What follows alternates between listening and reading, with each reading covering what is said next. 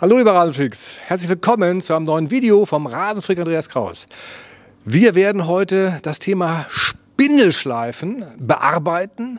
Wir sind heute bei einer Firma, die Spindelschleifmaschinen herstellt, die Firma Ettrich. Und ich äh, freue mich unheimlich hier mit dem Marvin Ettrich über das Thema Spindelschleifen zu sprechen. Und wir werden auch hier meine E-Flex-Spindel schleifen lassen. Und vielleicht, wenn es auch funktioniert, sogar noch meine alte Edco-Spindelkassette. Und ich freue mich, dass ihr dabei seid. Viel Spaß mit dem Video.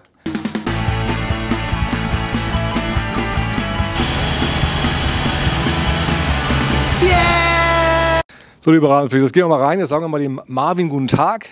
Hier in seinem wirklich kleinen, sehr, sehr netten Laden. Tada! Hallo Marvin. Hallo.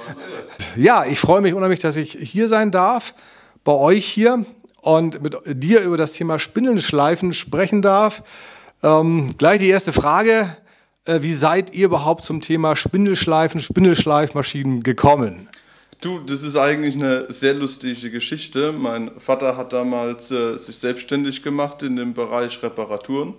Und ein Kunde hat ihm gesagt, er darf nur für ihn reparieren, wenn er Spindel schleifen kann. Ah ja. Und so hat er dann halt äh, sich im Markt umgeschaut und hat festgestellt, dass es keine Maschine gibt, die das macht, so wie er das will. Das Besondere an den Spindelschleifmaschinen von der Firma Ettrich ist die Tatsache, dass man die Spindel als Einheit, also die Spindeleinheit komplett auf die Maschine setzen äh, braucht, nur setzen braucht und nicht zerlegen muss. Das heißt, man kann äh, die Spindel und das Untermesser ohne ein Zerlegen äh, schleifen. Habe ich es richtig gesagt, Marvin? Im Großen und Ganzen ja. Es kommt immer drauf an. Ja, Reparaturen sind ja ähm, unabhängig davon. Ja, ja müssen wir immer gucken. Natürlich. Aber im besten Fall, wenn alles richtig funktioniert, setzen wir die Einheit drauf, klappen das Untermesser vor, schleifen die Einheit, stellen ein und machen das nächste und der Kunde ist schnell wieder einsatzbereit. Ja, Marvin, äh, ich weiß nicht, Spindelschleifmaschinen äh, ist ja etwas sehr Exotisches. Äh, wie viele Firmen gibt es da so eigentlich weltweit oder überhaupt hier in Deutschland? Wer macht denn sowas eigentlich? Also weltweit gibt es vielleicht eine Handvoll. Hersteller. Eine Handvoll? Ja, es sind nicht viele. Ja. Es okay. ist eine besondere Maschine. Ja. Es sind besondere Anwendungsbereiche. Ja. Da werden nicht riesen Stückzahlen gebaut. In Deutschland sind wir die einzigen Hersteller, die das machen. Es gibt in England noch eine Firma. Ui. Und in den wow. USA gibt es zwei Stück, die halt bekannt sind, die draußen auf dem Markt sind. Ja. Und wir sind halt in Europa eine der Firmen, die halt äh, so ein Ruf haben, dass wir halt mit unserer Maschine halt die Einheit komplett schleifen können, ohne sie zu zerlegen. So, aber das, das, das Hauptding ist halt hier eure, ich, ich kann mir erinnern, SBR 900. Genau. Und, und, daraus ist jetzt eine SBR 901 entstanden. Genau, die hat halt hauptsächlich technische Verbesserungen. Optisch sieht sie noch fast gleich aus. Was kostet eine Maschine? Die Maschine, die äh, kostet ca. 49.000 Euro ja, netto. Und äh, das, ist, das ist schon Geld, ja. Das ist Geld, das klar. Ist Geld. Aber wenn du 60, 50 Einheiten im Jahr schleichst, ja. macht es ja, sich bezahlt. Ja, ja. ja gut, das stellt sich natürlich dann auch nur jemand hin, der wirklich äh, auch viele Spindeln äh, übers Jahr schleifen muss oder der das eben anbietet für Kunden? Also ich sag mal so, jeder Golfplatz, wir gehen mal von einer 27-Loch-Anlage aus, jetzt ja. einfach mal. Ja. Oder machen wir es einfacher, äh, äh eine 18-Loch-Anlage, 19-Loch-Anlage, ja. Die haben in der Regel zwei Grünsmäher, ein Abschlagsmäher, ein Färbewehr. Ja. Der Färbemäher hat fünf Spindeln, ja, mhm. die zwei ähm, Grünsmäher haben sechs Spindel zusammen, sind wir bei elf. Ja? Dann kommt noch der Abschlagsmäher dazu. Mit drei Spindeln äh, sind wir bei äh, 14. 14, 14. Ja. Und dann haben sie in der Regel, nicht alle, aber noch irgendwo ein altes Paar rumliegen. Definitiv. Ja, wo sie dann halt grobe Arbeiten und den ersten Schnitt machen, also nochmal drei ja, dazu. Nach dem Sanden irgendwie nochmal ein paar alte Spindeleinheiten. Ja, dann, dann haben wir da 17 Einheiten. Ja. Und die müssen in der Regel zum Teil eins bis zweimal im Jahr nochmal nachgeschärft werden, ja, ja gerade für die Turniere, dass das alles passt, ja. Gehen wir mal davon aus, dass, dass wir die fünf äh, Fairwehr-Einheiten nicht mitmachen, ja, sind es nur zwölf, ja. 17 plus 12, nochmal plus 12. Ja, ja. Und dann bist du schon bei der Frequenz, dass du sagst, okay, wenn ich mir die Schleifmaschine selber kaufe, lohnt sich Nach das. einem Jahr amortisiert. ja, nicht ganz, ja, aber du äh, kommst dann halt hin, dass du nach 5, 6 Jahren sagen kannst, okay, jetzt fange ich an, Geld zu sparen, weil ich habe die Maschine, ich kann dann schleifen, wenn ich es brauche. Ja. Wenn ich einen Schaden habe, wenn ich einen Beregner mitgenommen habe, einen Stein, Golfplatz, sonst ja, das irgendwas. kommt ja so oft vor, dass du mal eine Macke da reinkriegst und dann musst du sofort die Spindel schleifen. Genau. Und da bist du dann halt einfach flexibel. Du findest, das Backlappen ist ein Fehler? Ja ich sag mal so, wenn wir auf alle Faktoren eingehen wollen, ja, wie bei allen Vergleichen ist immer nur die halbe Wahrheit drin, ja, wenn wir wirklich alles berücksichtigen wollen, von Kraftstoffverbrauch, Verschleiß der Maschine, Lager etc., ja, alles was einen Druck hat, frisst Energie und was Energie richtig. frisst, ja, kostet uns irgendwo was an, an Standzeit, an Leistung, an ja. Langlebigkeit, ja. Deswegen sind wir der Ansicht ein richtig geschliffenes Mähwerk was richtig eingestellt wird, was richtig gepflegt wird, hält länger und besser, als wenn ich mit Einleppen rummache. Das heißt also wirklich, ähm, eine, eine perfekt laufende Spindel hat keinen Kontakt, läuft quasi völlig frei. Und wenn du dann eben den Messer, den Papierstreifen reinlegst, dann wird der wirklich so wie mit dem Ventilator abgeschnitten, perfekt äh, geschnitten und du hast trotzdem keine Geräusche. Genau. Ja, dann mach her mit so einer Spinne. Das machen wir nachher. Ja, und deswegen, ah, ja. deswegen ist das Einstellen das Entscheidende und das Leppen bringt halt in unseren Augen nicht das Ergebnis, was gewünscht ist. Ja? Du tust wow. nur kurzfristig das ein bisschen besser machen, aber das geht so schnell wieder abwärts, die, die, diese Standzeit, ja, durch den nächsten Dreck, Korrosion, Verkratzung, weil halt einfach beim Einleppen halt dann mit Kontakt gearbeitet wird, dass du halt nicht so lange mehr was davon hast. Das ist interessant. Das ist interessant. Dann ist es halt eben dann doch besser, wenn man jetzt eine Macke drin hat oder wenn man jetzt doch eben Dreck reinbekommen hat, wenn die doch die Spindel verschlissen ist, wenn, ähm, wenn du eben einen sauberen Schnitt nicht mehr hinkriegst, ohne Kontakt, dass du dann lieber nachschleifst.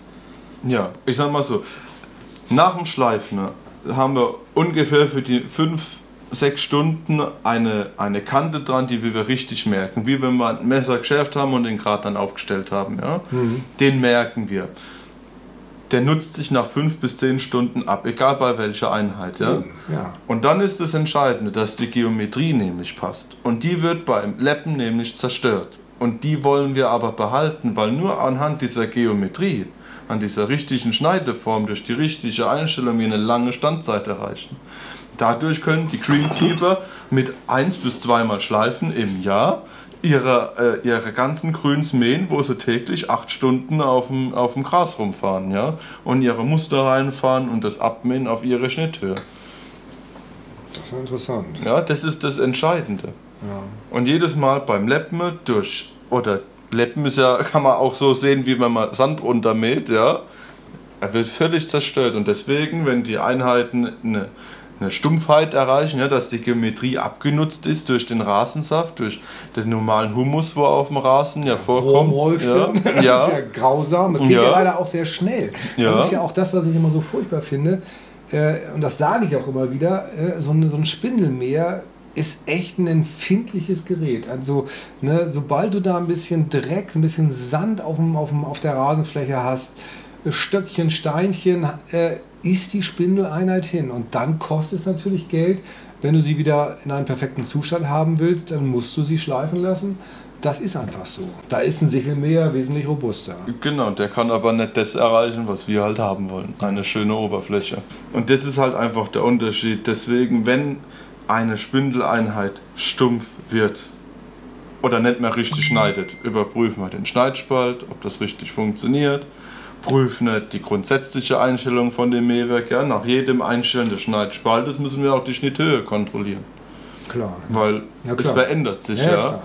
Und dann sehen wir, okay, sie schneidet jetzt wirklich nicht mehr. Ja. Viele sind auch durcheinander. Ja? Die meinen, wenn sie die Spindel langsam drehen und ein Papier reinhalten, ne, schneidet es ab.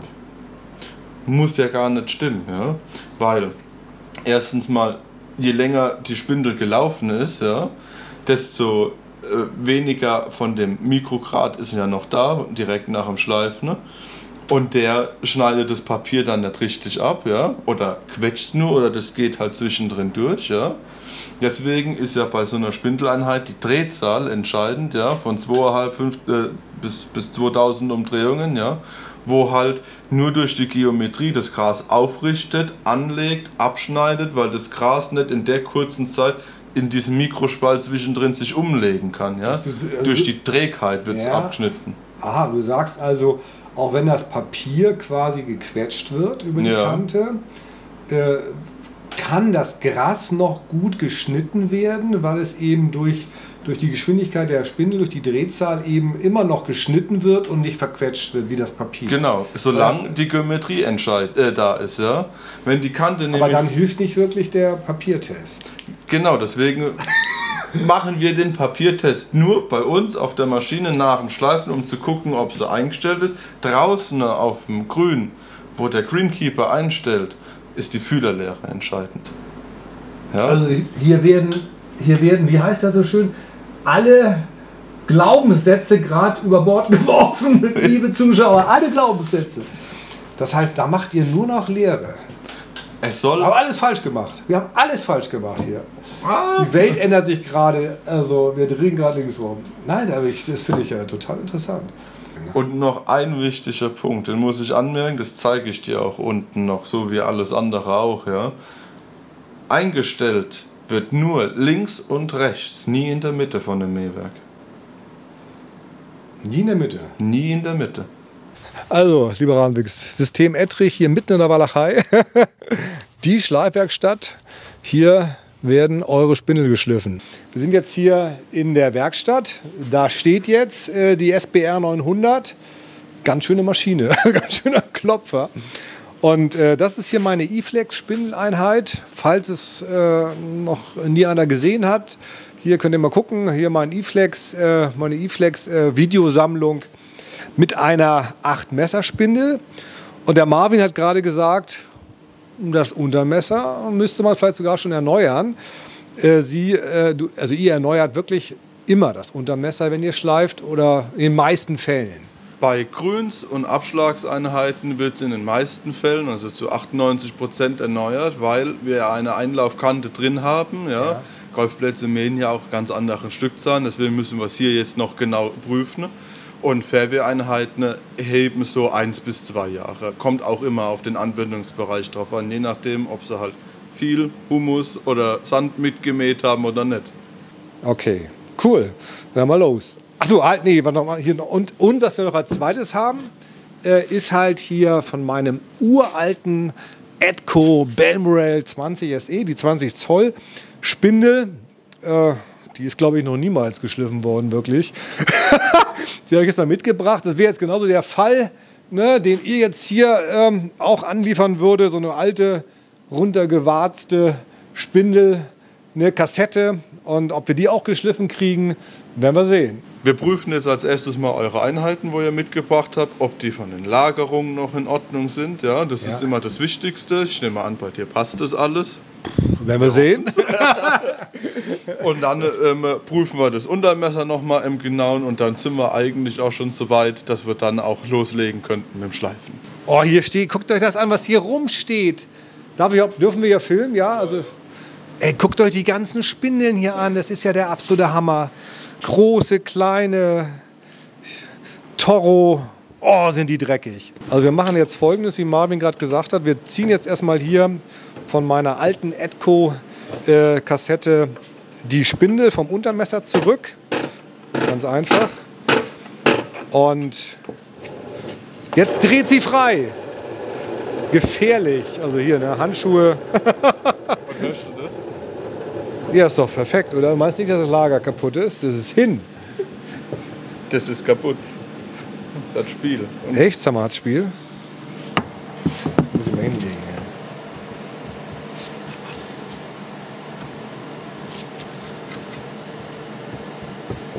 Uiuiui, das Spiel. Also, das können wir schon mal vergessen. Also, tja, Lager werden wir auch nicht haben, ne?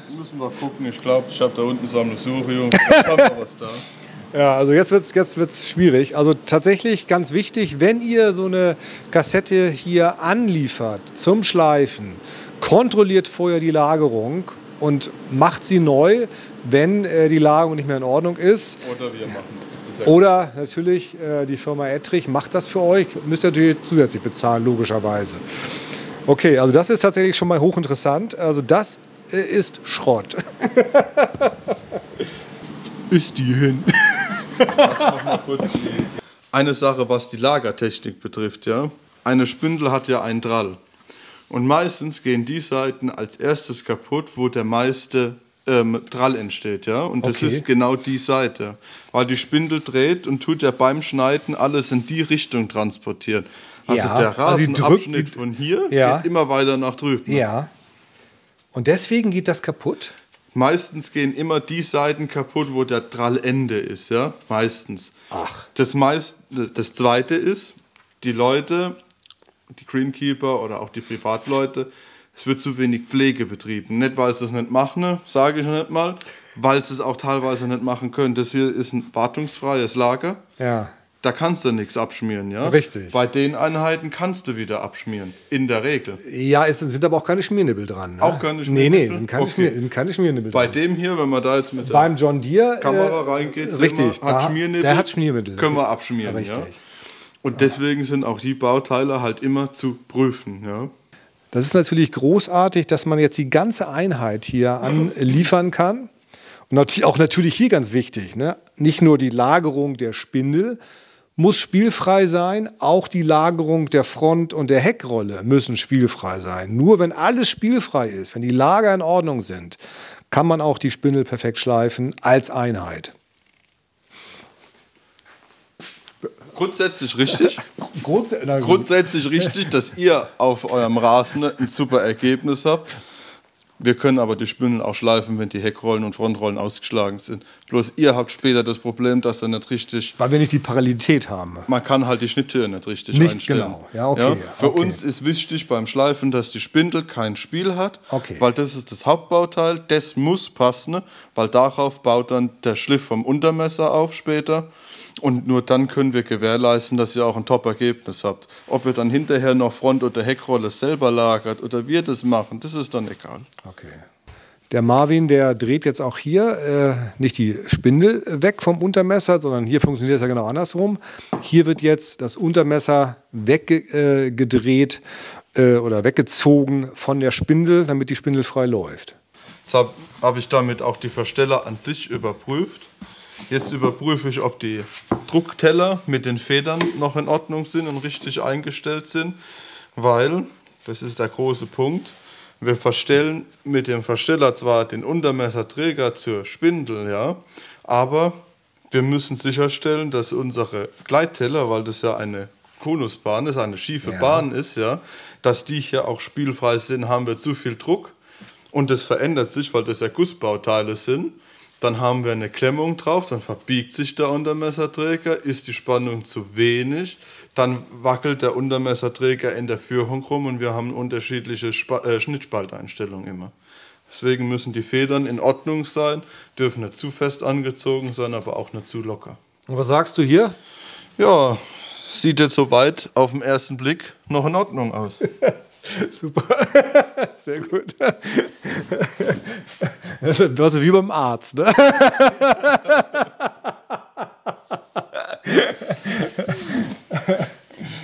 Ich habe ja die ganze Lagerung neu gemacht, ja. Marvin. Also das sollte eigentlich jetzt noch passen.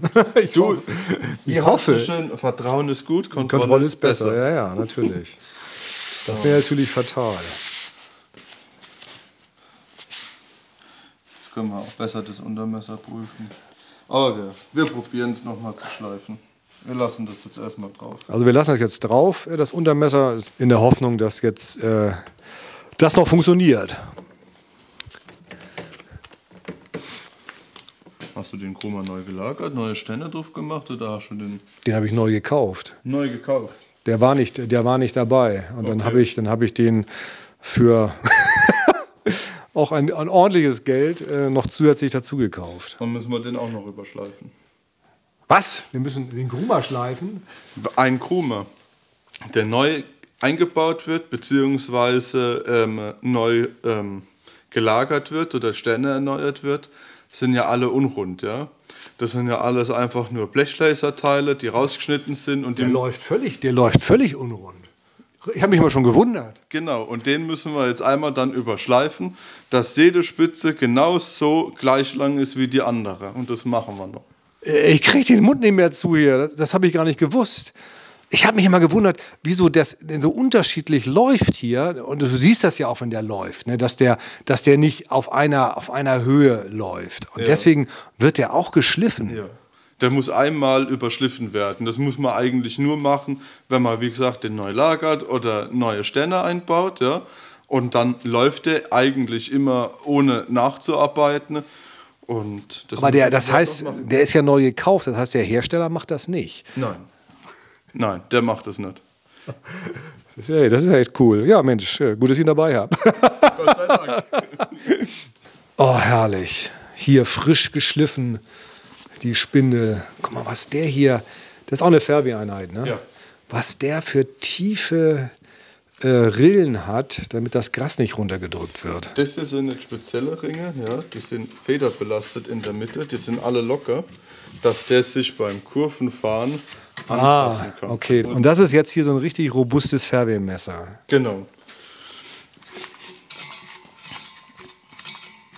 So ist er eingestellt bei uns. Ja. Die, die Spindel ist jetzt vom Untermesser weggestellt. Ja. Die hat keine Berührung. Das, ja. was man jetzt noch so ja, was, genau, ja. Das ist der Schleifstaub, der noch auf. Ach, der Schleifstaub. Schleifstaub. Die Körner. Die Körner, die, die hier noch, noch, die hier noch drauf sind. Genau. Aha. Ja, und das ist das Wichtige, dass man das halt weiß, ähm, wenn es nach dem Schleifen kommt und man sie dreht, ja, muss jeder sie zu Hause nochmal kontrollieren und nachstellen ja. gegebenenfalls, weil durch den Transport kann sie sich ja immer noch verstellen, ja. Deswegen werden ja die Einheiten auch auf den Golfplätzen jeden Tag neu eingestellt oder geprüft, weil durch das Fahren, durch den Verschleiß kann sich immer mal was verstellen. Und wir haben gelernt, prüfen jetzt dann nur noch mit einer Füllerlehre. Genau, wenn sie draußen schon im Einsatz war, jetzt hier, die ist ja frisch geschliffen von uns, ja. ja. Wir machen das mit dem Papier, heben die gerade links und rechts hin und machen das nur außen, in der Mitte nicht, weil, und jetzt kommt's, wenn ich die jetzt drehe und drücke hier mit dem Finger drauf, hat die ein ganz anderes Schleifgeräusch. Ja? Das muss man sich mal reinziehen, wie, wie empfindlich das ist. Also du brauchst hier nur leicht drauf zu drücken schon und schon hast du hier schon äh, eine Veränderung genau, des Spaltes. Weil es kommt ja immer auf die Schnitthöhe an. Je geringer die Schnitthöhe ist, desto größer ist der Grasdruck, der Anlaufdruck vom Gras gegen das Untermesser. Und da das ja links und rechts geführt ist und da die Aufnahme ist, ist es da stabiler als in der Mitte. Du meinst jetzt äh, der, der Messerbalken. Ja, der Messerbalken. Der Messerbalken ist außen stabiler als innen, weil da jetzt die Führung die, ist. Ja. Genau, weil da ist er aufgenommen. Obwohl das ja eigentlich so ein gefühlt massives Teil Stahl ist. Ne? Aber alles lässt sich biegen, immer nur zu einem gewissen Maße, ja. Und der Träger kann stabil sein, wie er will. Wir könnten da so einen, so einen Trümmer reinschrauben. Auch den würdest du mit einem gewissen ja. Druck verbiegen können nur ganz leicht. Es geht hier nur um Hundertstel. Aber die Hundertstel reichen halt, dass wir Kontakt haben oder nicht. Boah. Ja? Und deswegen wird nur links und rechts eingestellt und nie in der Mitte, weil das passiert automatisch dadurch, dass es an den Seiten eingestellt ist, weil durch den Rasen, durch den Grasdruck sich in, das wieder in, anläuft und wieder derselbe Abstand ist. Spannend. Spannend. Ja, ja das ist praktisch äh, die Aufnahme für jede Spindeleinheit. So weit also, wie es möglich ist. Ja, okay.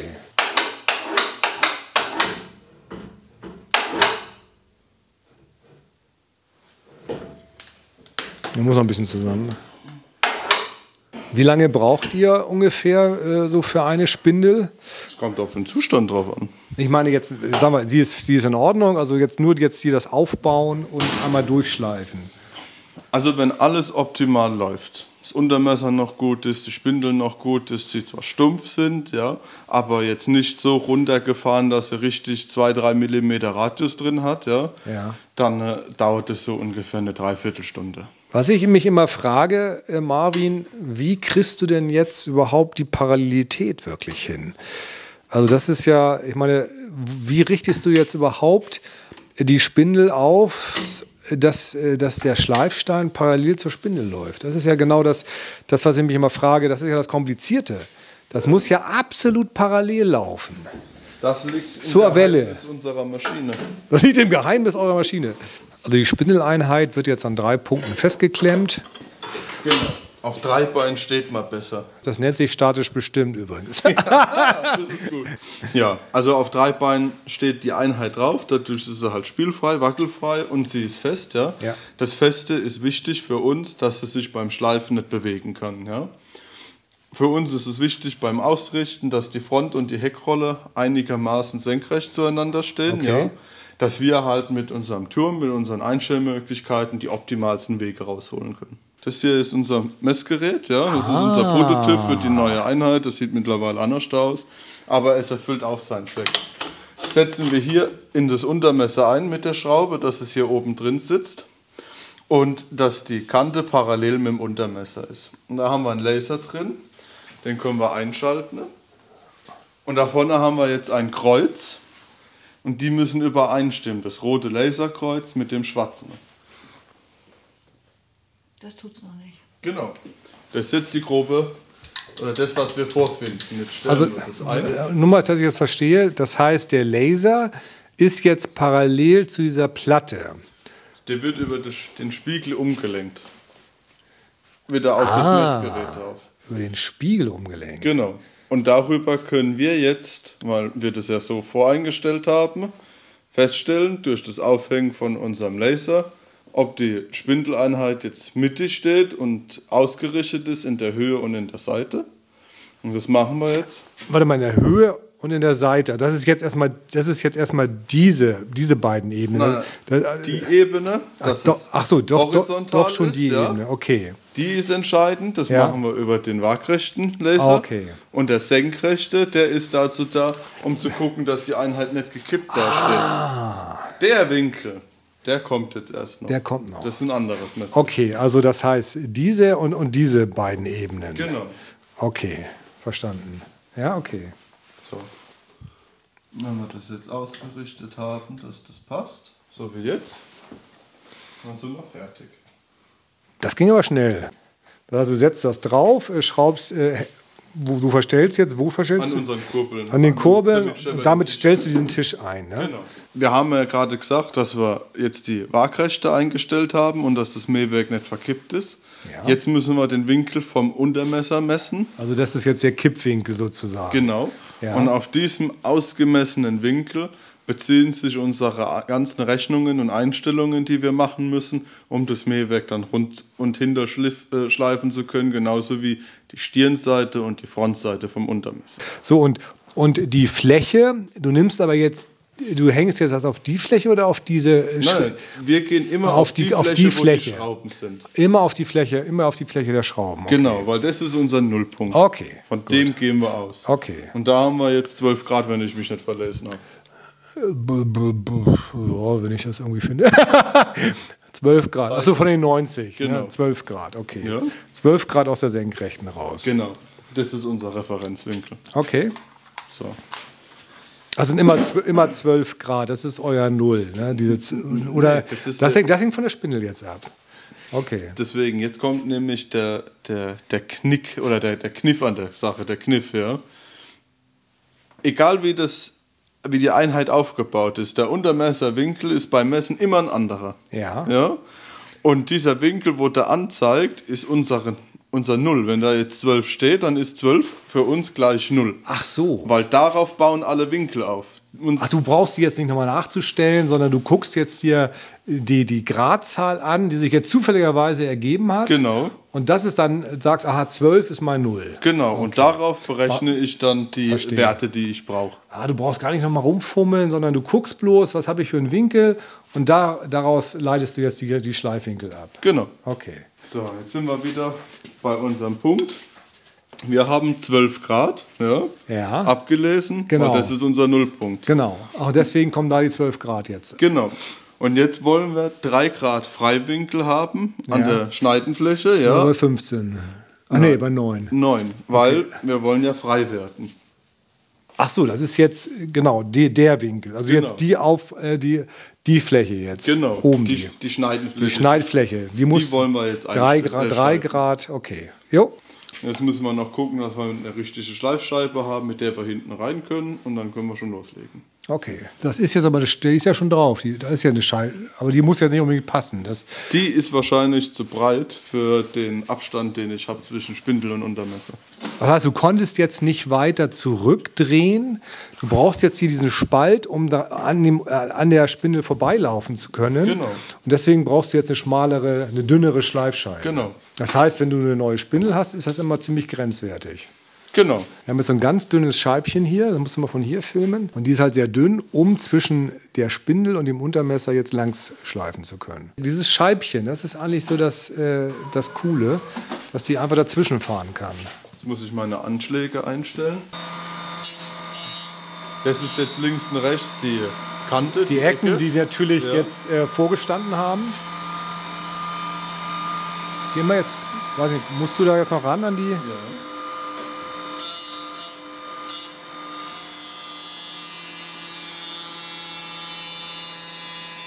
Feuerwerk!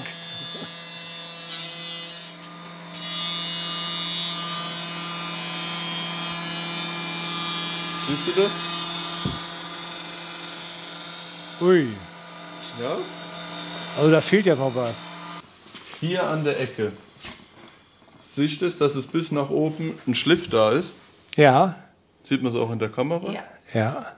Das ist jetzt der originale Schliff hier an der Ecke, der in Ordnung war. Der, ja. Ja, ja. So wie der Hersteller das vorschreibt. Und hier in die Mitte rein, da haben Darf wir nach oben noch einiges, was wir rausschleifen oh, müssen. Ja. Da sieht man diese, siehst du da, Schatz, die ungeschnittene, ungeschliffene Fläche.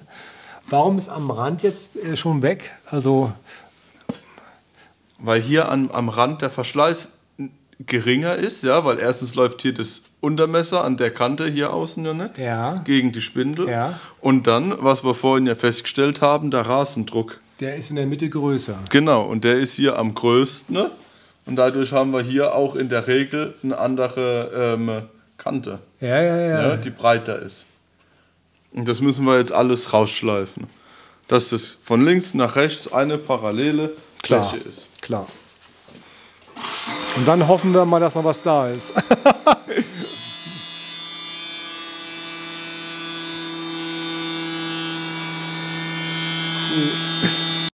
So, also was wir jetzt machen, ähm, jetzt kommt noch die Stirnseite des Untermessers. Die braucht natürlich auch den richtigen Winkel. Das sind jetzt wie viel Grad? Äh, 13 Grad Freiwinkel hat die. 13 Grad Freiwinkel. Ne? Also das ist jetzt auch von der, von der Senkrechten immer. Von der Rechtwinkligkeit. Ne? Genau. Ne? Also rechtwinklig, 90 Grad, also 13 Grad nach hinten äh, freigeschliffen. Ja, freigeschliffen. Wir haben jetzt die grobe Einstellung ähm, schon abgeschlossen und sind jetzt dabei, ähm, aufs letzte ähm, Grad einzustellen, damit wir halt den richtigen Winkel schleifen können.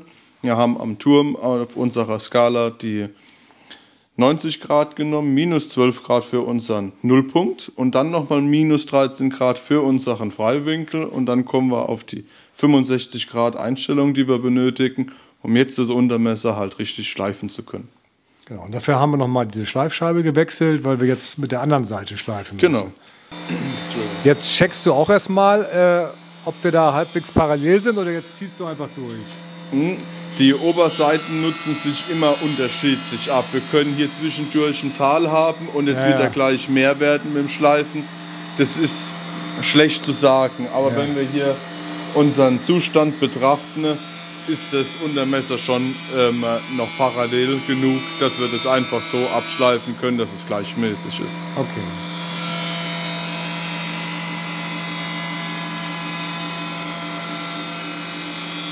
Ihr müsst doch mal ein paar Fotos machen, Süße, dass man ein paar... Ja, jetzt ein Foto! Das ist cool. Uh, da ist er dran gegangen.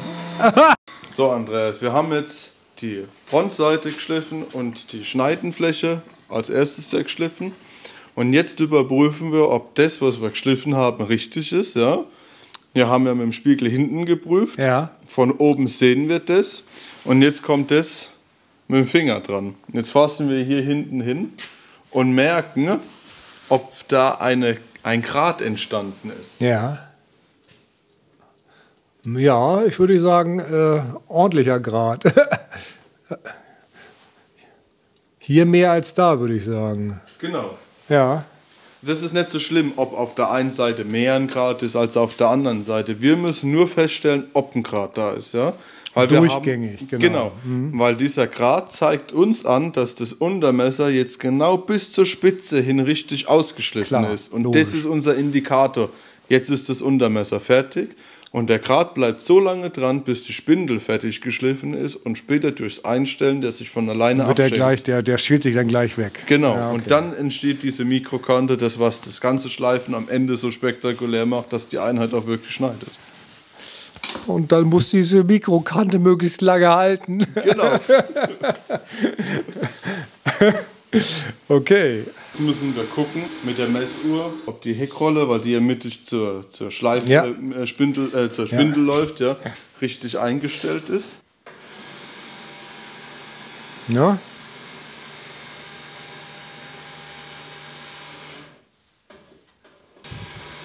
Was machst du jetzt? Du drehst aber doch noch mal den ganzen Tisch jetzt hin und her. Genau, ne? Weil das, das, ähm, da, da, dadurch läuft er ja wieder ein bisschen aus der Flucht raus. Ne? Genau, wir haben also in der ersten Einstellung das Untermesser geschliffen. Ja, genau. Da das Untermesser sich durch den Versteller ja frei von der Spindel hin und her drehen lässt, ja. können wir das im spannungsfreien Zustand, wie wir es jetzt geschliffen hatten, ausgleichen. Ja. Jetzt müssen wir aber überprüfen, weil das können wir später nicht durch Einstellungen ausgleichen, dass der Schneidzylinder, die Spindel, nicht konisch läuft. Ja? Richtig. Die richtig. muss zylindrisch sein. Absolut. Und unser Festpunkt an den Tocho-Einheiten und an den Jacobson-Einheiten, die eine feste Heckrolle haben, die wir ja nicht verändern können, ja. ist das unser Bezugspunkt. Und den habe ich jetzt mit der Messuhr nochmal ausgemessen, ob der wirklich stimmt. Ja? Weil wir hatten ja vorhin durch das Verdrehen vom Tisch ja schon das Untermesser angepasst. Ja, genau. Und jetzt müssen wir die Spindel nochmal nachstellen, nachpassen. Aber ihr könnt jetzt nicht in die Spindel reingreifen. Ne? Also das macht ihr jetzt nicht. Also ihr, du gehst jetzt nicht hier rein und guckst, ob, ob der jetzt, äh, da kannst du jetzt nicht messen. Da das in, kommt Ach, das kommt jetzt auch noch, oder? Nein, das kommt bei anderen äh, Schneidsystemen zum Einsatz. Ah, ja. Bei den ESP-Einheiten, wo wir vorhin den Papiertest gemacht haben, da ist das Untermesser fest da können wir am Untermesser nicht eingreifen. Ne? Okay. Und da müssen wir die Spindel alles, so alles einstellen. Zum, alles zum Untermesser ausrichten. Genau. Und hier ist es halt andersrum. Aber das ist ja wichtig. Ne? Der, die Parallelität zu der Parallelität. Aber das ist, finde ich, das finde ich eigentlich gut, nochmal zu überprüfen. Äh, wenn du sagst, ich habe die jetzt hier parallel ausgerichtet, ist dann hier diese, diese Welle hier, läuft das auch parallel? Wenn ein Fehler im Gehäuse drin ist, ja stört uns das nicht, weil wir die Spindel an die Heckrolle anpassen und dadurch ja eine Parallelität erzeugen. Aber dazu, aber dann schleifst du die Spindel leicht, leicht konisch, ne? Das ist richtig, aber ein Tod muss ich dann halt ja, sterben. Ja, okay, aber, aber du, du, dann ist sie, okay. Nee, nee, klar, du schleifst, aber die Spindel dann zur Heckrolle ausgerichtet. Genau. Okay. Jetzt cool. ist das Entscheidende, jetzt wo wir die Heckrolle ausgerichtet haben, dass die passt, werden wir sehen, ob der Schneidzylinder wirklich konisch läuft das oder ob er zylindrisch ja so, Das sieht man ja sofort, wenn du jetzt auch mal rüberfährst. Genau. Okay. Deswegen ist alle Messerei, alles außenrum. Ja. Für einen Arsch. Wenn du jetzt einen Millimeter Unterschied hast, dann ist irgendwas faul. Dann ist was faul. Aber wir würden das dann auch schon in der Spindel drin sehen, ja, ja? an den Blättern. Im Moment sieht alles ganz normal aus, dass wir hier nur einen minimalen ähm, Konizität zu erwarten haben, was einfach normal ist vielleicht auch fast gar nichts. Ja, okay.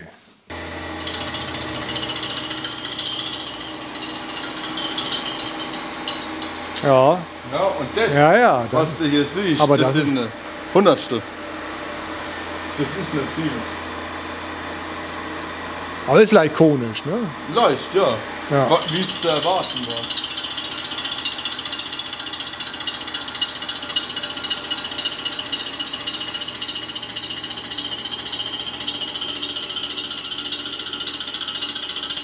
Die darf jetzt nicht anfangen zu schwingen. Genau. Mhm.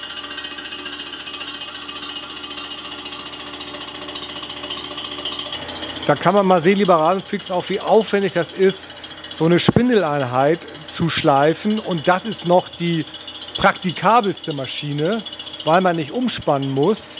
Und trotzdem dauert das eben seine Zeit, äh, bis so eine Spindel wirklich an allen äh, Kanten und Flächen sauber geschliffen ist.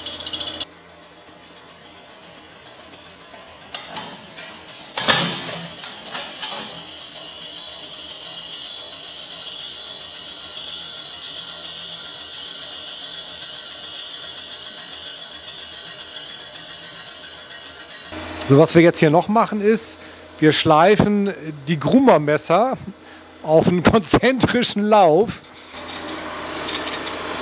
Das ist jetzt die Unwucht mhm. in dem Grummer. Genau. Wir sehen ja auch, dass die Grumer Hülsen alles einen Höhenschlag haben. Ja, total. Aber ja jetzt alle fest und die verändern sich jetzt nicht mehr. Und jetzt können wir die Spitzen abschleifen, so dass es überall rund läuft. Ja!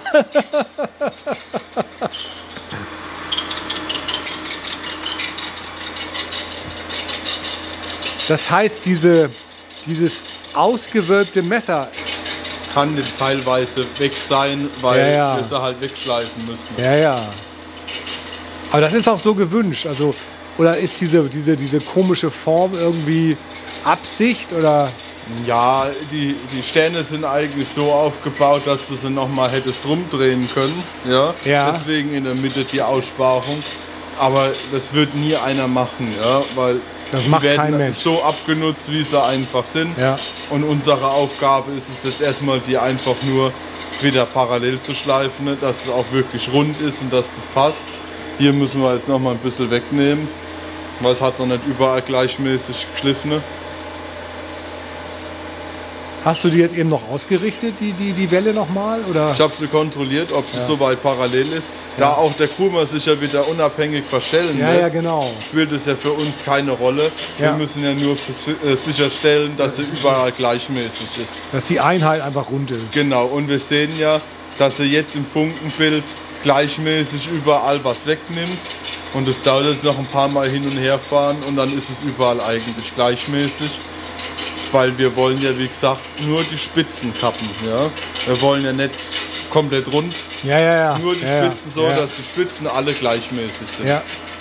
Also du nimmst tatsächlich diese, diese Spitze, dieses nach außen gewölbte, da nimmst du jetzt die Spitzen weg. Genau, so dass wir halt runterkommen. Ja. Wenn wir jetzt hier sehen, da ist halt nichts mehr mit Aushöhlung in der Mitte, ja. Ja, eben. Weil die halt so weit rausgeguckt hat, dass die halt einfach weg musste.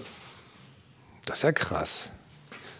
Ja, lieber Radfix, das macht sich eben keiner so wirklich bewusst, dass das eben eine sehr komplizierte und aufwendig zu wartende, also in diesem Fall so schleifende Schnitttechnik ist, der Spindelmeerschnitt. Aber auch nur das erzeugt den perfekten Rasen. yeah! Es gibt von den Herstellern Winkelangaben, ja. die entscheidend sind für den Hinterschliff. Ja. Wir haben uns Lehren so. gemacht, ja. 30 Grad ist zum Beispiel für Tocho, für Jacobsen, Ranzomes. 22 Grad ist für John Deere. Dann okay. haben wir 45 Grad und 50 Grad. Das sind für Schleppeinheiten, wenn ihr okay. das was sagt. Und die haben einen anderen Winkel, weil die auch viel dickere Blätter haben. Okay. Ja, und letztendlich hängt von der Blattdicke auch irgendwo der Winkel ab, was der Hersteller sich mal ausgerichtet hat. Und das haben wir jetzt auf 30 Grad eingestellt. Und wie viel, wie viel Millimeter Breite lässt du jetzt hier stehen? Also, mm. das ist ja relativ dünn, ein, zwei Millimeter. Das ist ein Gefühl, ja, okay. was man macht. Und in der Regel gibt es so ein Maß zwischen 1 und 2 Millimeter. Und wir mhm. versuchen so die 1,5 anzupeilen. Okay. Aber da wir es nicht genau messen können, ist es halt letztendlich eine Gefühlsschicht. Guckst du so ein bisschen, wie das aussieht? Genau. Okay.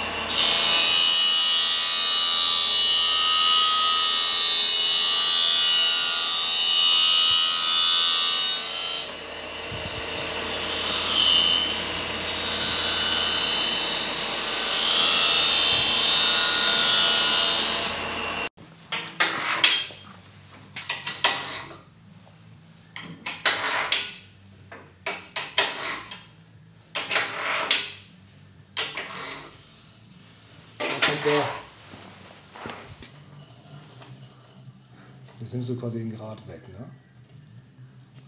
Und er stellt es nach Gehör ein. Einfach nur. Und er stellt es nach Gehör ein. Ja, jetzt gucken wir mal, ob es passt. Ah, leicht verzogen ist er, ne? wenn man das jetzt hier, wenn das passt. Ja. Aber nicht, aber nicht.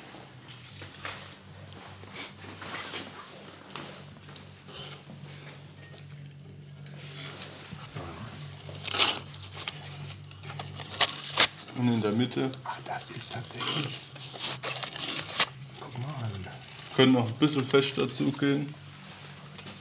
Muss, ich ja, muss ich ja eh nachstellen. Genau.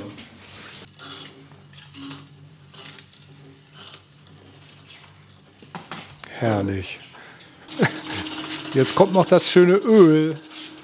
Korrosionsschutz. Ja, Weil absolut. Du ja jetzt noch nicht. Nein, nein, absolut wichtig. Man hat gesehen, das war eine sehr aufwendige Sache. Ja.